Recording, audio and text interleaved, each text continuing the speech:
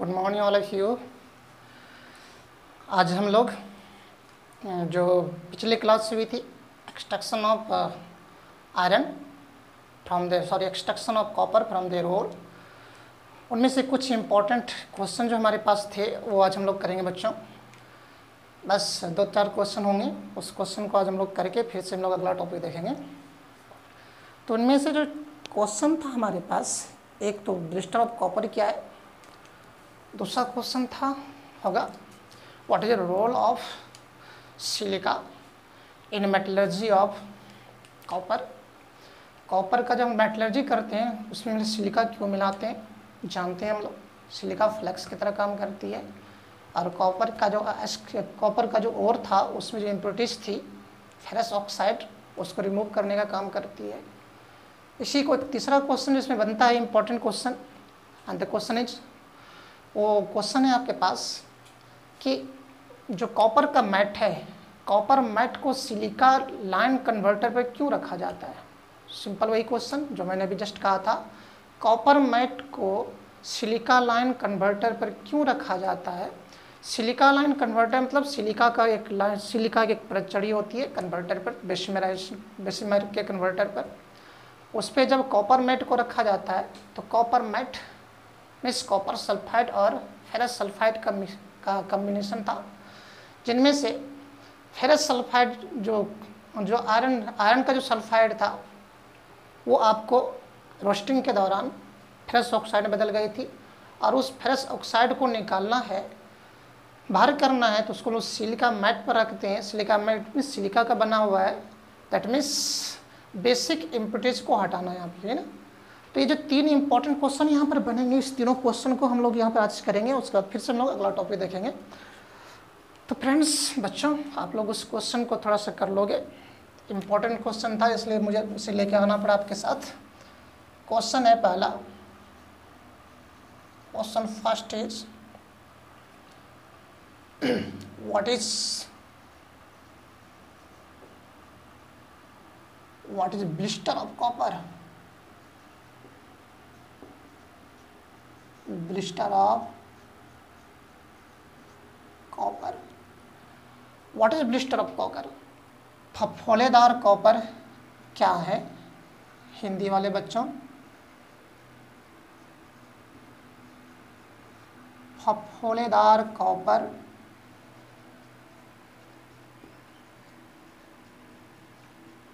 क्या है? तो याद करो, मैंने पिछले क्लास में आपको बताया था कि जब कॉपर का एक्सट्रक्शन करते हैं हम लोग तो कॉपर मोल्टन स्टेट में रहती है। और मोल्टन स्टेट में रहने से क्या होता है? उस जो बनती है सल्फ़र डाइऑक्साइड गैस निकलते हैं। आपके पास ये रिएक्शन था कि ऑटो रिडक्शन के कारण ये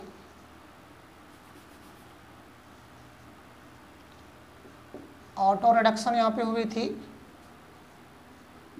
कहाँ पे? बेसिमराइजेशन जब कर रहे थे हम लोग, और इसमें सल्फ़र डाइऑक्साइड गैस बाहर निकले थे। ये आपके पास मोल्टन फ़ेज़ में था। Molten copper. रिएक्शन में बैलेंस नहीं किया हूँ, आप बैलेंस करना चाहते तो कर दोगे, इसकी कोई आवश्यकता भी नहीं थी। तो जब ये मोल्टन कॉपर था, इस पिघले हुए कॉपर है, एक परत के रूप में पड़ा हुआ है, उससे जब सल्फ़र डाइऑक्साइड गैस निकलेंगे तो उस पर क्या आते हैं बच्चों? कुछ ब्रिस्टर निकल जाते हैं, कुछ ऊपर में इस प्रकार से उठ जाते हैं, मैंने कल बताया था। इस प्रकार से कॉपर की परत पड़े हुए उसके सरफेस इस प्रकार ब्लिस्टर बन जाता है। इसलिए ऐसे कॉपर को ब्लिस्टर कॉपर कहा आता है। और मैंने कहा था कि ये ऑब्जेक्टिव आपसे बार रिपीट करते रहती है कि ब्लिस्टर ऑफ़ कॉपर जो बनता है, वो किस गैस के इवॉल्वेशन कारण होती है, कौन सी गैस के निकलने कारण होती है तो आप आंसर करना सल्फ़र डाइऑक्साइड गैस। तो चलो मैं इसको आंसर कर दे रहा था। चलो मैं इसको आंसर कर दे रहा हूँ। इसके इसका आंसर होगा। व्हाट इज़ ब्रिस्टर कॉपर मैं लिख रहा हूँ इसका answer.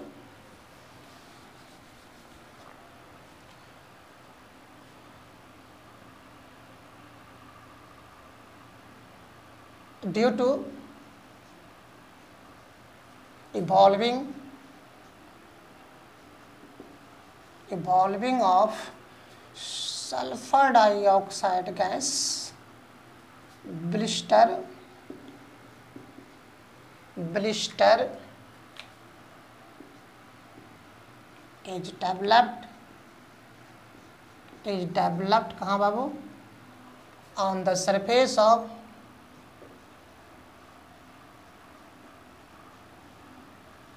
copper hands such copper such copper is called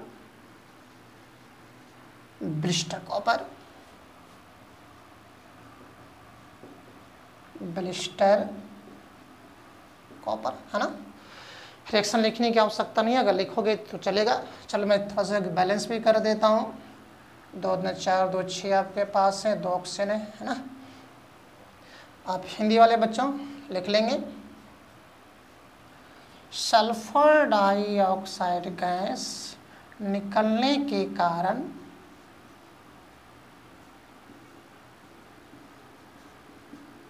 sulphur dioxide gas निकलने के कारण कॉपर के सतह पर क्या बन जाती है बाबू? ब्लिस्टर। ब्रैकेट में फफोला।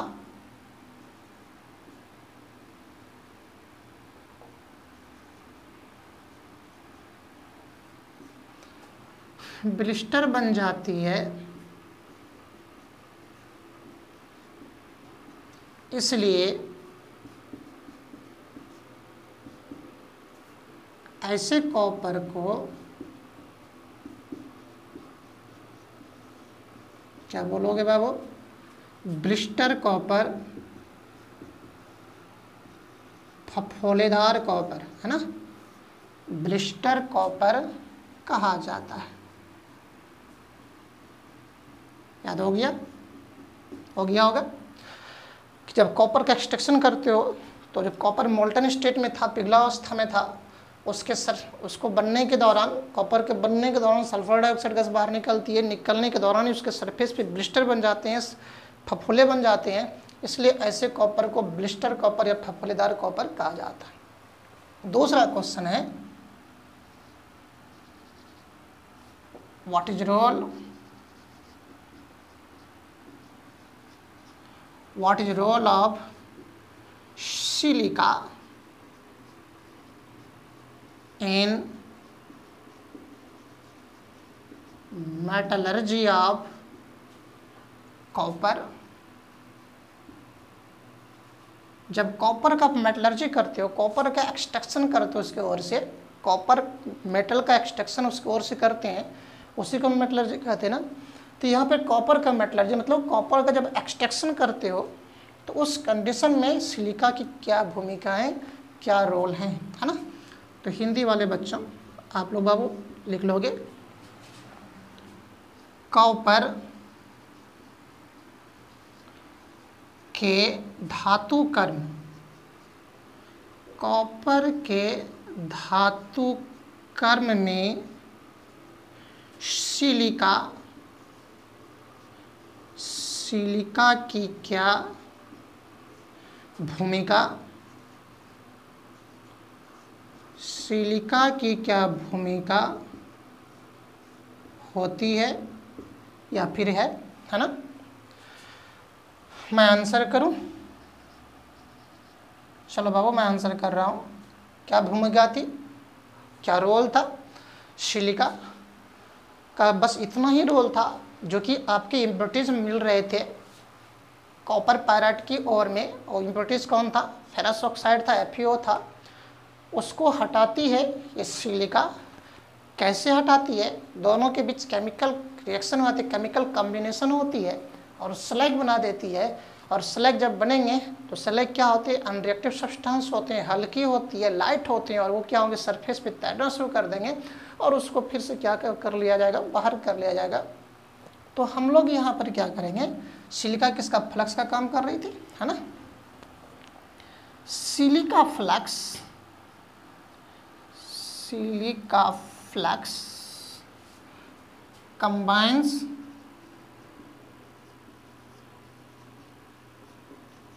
combines with basic impurities basic impurities या गैंग बोल सकते हो? बेसिक इम्प्योरिटीज मतलब gangue basic impurities of ferrous oxide मैंने बताया था। जितने भी मेटल के ऑक्साइड होते हैं बेसिक नेचर के होते हैं और नॉन मेटल के ऑक्साइड क्या होते हैं? एसिडिक नेचर के होते हैं। तो सिलिका नॉन मेटल का ऑक्साइड है। ये आप इसको एसिडिक फ्लक्स बोल सकते हो, बोलोगे। और यहाँ पर जो इन्वर्टिज मिल रहा था गैंग जो मिल रहा था, वो एफ़ था फेरस ऑक्साइड था बेसिक नेचर के हैं। तो यहाँ पे silica flux combines with basic flux basic impurities या basic impurity gangue of ferrous oxide to form क्या बनाती है बाबू? To form ferrous silicate ferrous silicate slag है ना? चलो मैं इसका रिएक्शन दिखा दूँ। फेरस सिलिकेट स्लैग का फॉर्मेशन करती है। मैं उसको यहाँ पे क्या कर रहा हूँ? दिखा रहा हूँ। जैसे ये आपके क्या थे? गैंग था। है ना? हम लोग रिएक्शन में देख चुके हैं। इसको हटाने के लिए आपने किसका सिलिका इस्तेमाल किया? फ्लक्स है। ये बेसिक होंगे एसिडिक होगा, ये बेसिक है। क्यों? क्योंकि मेटल का ऑक्साइड है और ये नॉन मेटल का ऑक्साइड है एसिडिक है। दोनों के बीच केमिकल कम्बिनेशन होंगे और बनाती है F E S I O three जो स्लाइड बनेंगे रिएक्टिव सब्सटेंस और इसी का नाम है फेरस सिलिकेट बोलो या आयरन सिलिकेट फेरस सिलिकेट है ना? तो हिंदी वाले बच्चों, थोड़ा सा आप लिखोगे। सिलिका सिलिका, क्षारिय क्षारकीय क्षारिय अशुद्धि, ब्रैकेट में गैंग, क्षारिय अशुद्धि, ब्रैकेट में गैंग, जैसे एफ़ से अभिक्रिया करके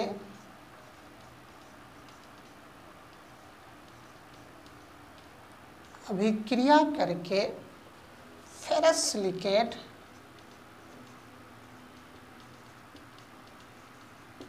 ferrous silicate slag slag में धातुमल बनाती है। बनाती है है ना? मैंने लिखा सिलिका क्षारिय सिलिका क्षारिय अशुद्धि जैसे F E O ferrous oxide से अभिक्रिया करके फेरस सिलिकेट स्लैग बनाती है। तो क्या रोल हुआ बाबू? सिलिका का क्या क्या रोल है मेटलर्जी में? कॉपर के मेटलर्जी में। तो सिलिका क्या करती है? फेरस आपके जो फेरस ऑक्साइड जो गैंग था, उसको हटाने का काम करते हैं स्लैग बनाकर, है ना? एक और इसमें इंपॉर्टेंट क्वेश्चन आती है। यही क्वेश्चन है जो आपके पास सेकेंड मैंने लिखा। इसी को थोड़ा सा मॉडिफाइड करके जो सिलिका है सिलिका का परत होते हैं सिलिका कन्वर्टर में रखा हुआ है, और उस सिलिका के कन्वर्टर पर कॉपर मैट को रखा जाता है। Copper matte means copper sulphide और फेरस सल्फाइड का जो आपके पास मिक्सचर थे, इस दोनों को हम लोग कॉपर मैट कहते हैं। अब उनमें से जो कॉपर फेरस सल्फाइड था फेरस सल्फाइड आपके पास क्या, किसने बदल गई? फेरस ऑक्साइड में। और उस फेरस ऑक्साइड को जो था उसमें कॉपर मैट में उस कॉपर मेट में फ्रेश ऑक्साइड जो था, उसको अगर सिलिका मैट पर रखा जाए तो सिलिका मैट में सिलिका उसे कंबाइन करेंगे, फिर क्या होगा? इम्प्योरिटीज फिर क्या होगा? स्लैग बनेगा और स्लैग को बाहर कर देंगे। तो इसी का जो क्वेश्चन दूसरा है, इसी को मॉडिफाइड करके पूछता है, मैं इधर हटा दूँ। मॉडिफाइड करके इस प्रकार से पूछता है वाई कॉपर मैट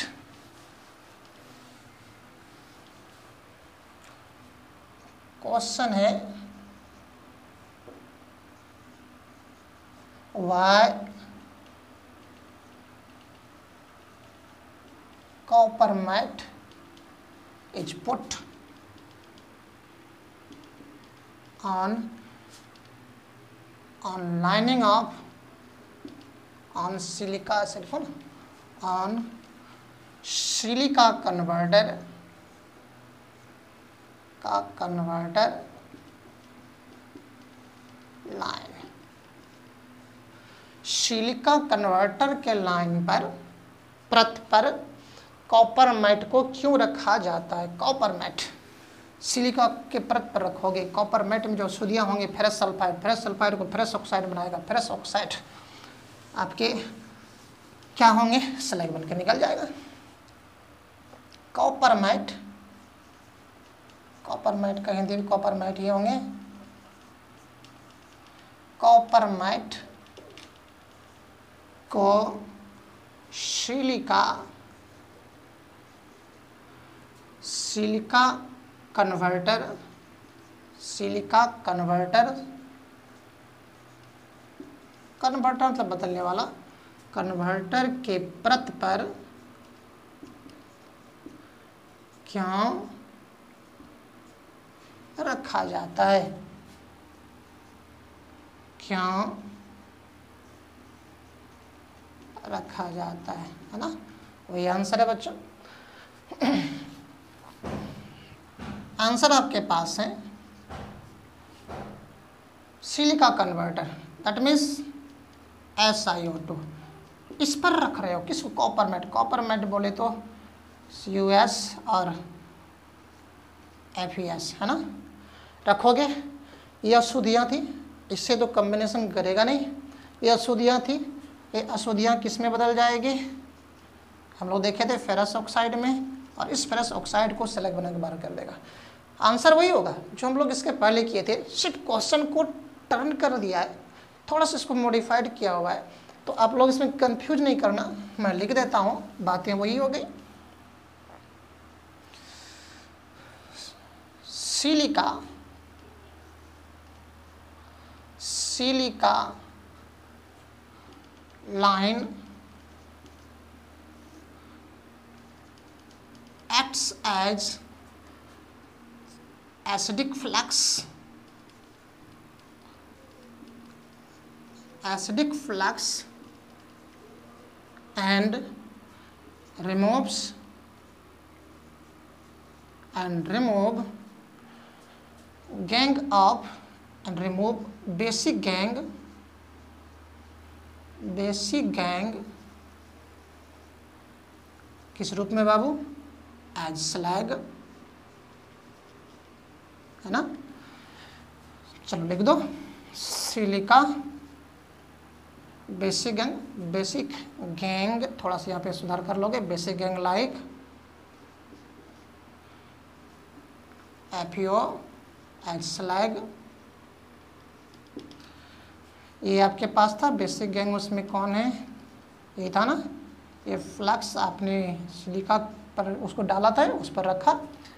ये फ्लक्स आपको गैंग के काम करेंगे, ferrous oxide. A F U gangue का काम करेंगे। और स्लाइक कौन सा बनाएगा बाबू? F E S I O three this is slag है ना? हिंदी वाले बच्चों, थोड़ा सा यहाँ पे लिख लोगे।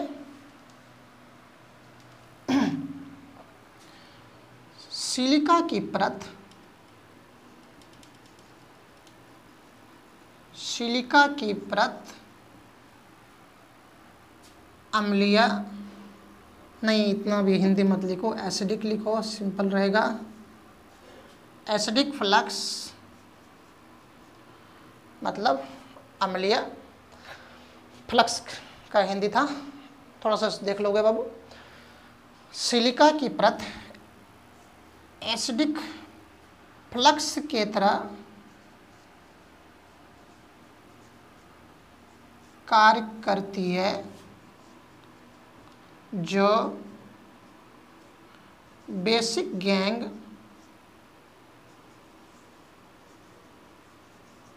जैसे, बेसिक गैंग जैसे जैसे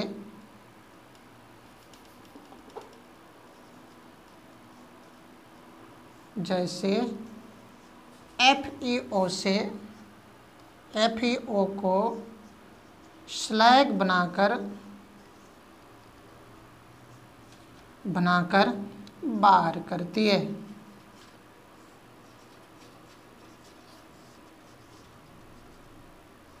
है ना? फिर तीन इंपॉर्टेंट क्वेश्चन इससे निकल रहे थे। हालाँकि लॉन्ग में आपसे पूछेंगे।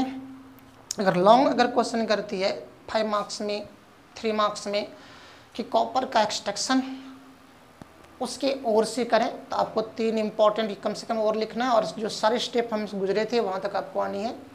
और अगर यूँ ही टूटी फूटी भाषा में एक मार्क्स में, दो मार्क्स में क्वेश्चन कर देती है, डेढ़ मार्क्स में क्वेश्चन करती है, जिस प्रकार से क्वेश्चन का ट्रेंड हो सकता हो तो जो मैंने आज आपको यहाँ से जो क्वेश्चन बनने की संभावना छोटी छोटी वो मैंने आपको बताया। तो इन सारे क्वेश्चन को बच्चों आप तैयार कर लो। वो आपके बोर्ड एग्ज़ाम्स के लिए इंपॉर्टेंट है। और ऑब्जेक्टिव भी इसी से आएँगे आपसे। अगर आने की पूछती है तो ऑब्जेक्टिव इसी सॉरी आएँगे नहीं, इसी से ऑब्जेक्टिव बनते हैं। जिससे मैंने आपको कई ऑब्जेक्टिव बनाकर यहाँ पर दिखाया था। तो आप इस थ्योरी को ज़रूर पढ़ो। थ्योरी पढ़ोगे तो ही, तभी आप ऑब्जेक्टिव को सॉल्व कर पाओगे। नहीं तो फिर प्रॉब्लम आपके साथ बहुत बड़ी क्रिएट होंगे। क्यों? क्योंकि ऑब्जेक्टिव केमिस्ट्री का रटा नहीं जा सकता। कितने आप क्वेश्चन कितने आप ऑब्जेक्टिव रटोगे? बार बार वेरिएशंस आएँगे बार बार वेरिएशंस आएँगे। इसलिए उस वेरिएशन को बचना, उस वेरिएशन को अगर रोकना है तो आपको क्या करना पड़ेगा बच्चों? आप बार बार इस थ्योरी को पढ़ते रहो थ्योरी का स्टडी करते रहो करते रहो करते रहो। मैं आपको क्वेश्चन दे ही रहा हूँ उससे आप तैयार कर लो, है ना? उम्मीद करूँगा कि आप तैयार ज़रूर कर लेंगे। और फिर से मैं आपको जो इसका नेक्स्ट एक्सट्रैक्शन एक और बच गया है, बस एक बचा हुआ है, वो आयरन का एक्सट्रैक्शन फ्रॉम इट्स और देयर और वो हम लोग, वो मैं आपको फिर से नेक्स्ट क्लास में वीडियो के सपोर्ट से हेल्प करूँगा। तब तक के लिए आर के सेन की तरफ़ सबको thank you best of luck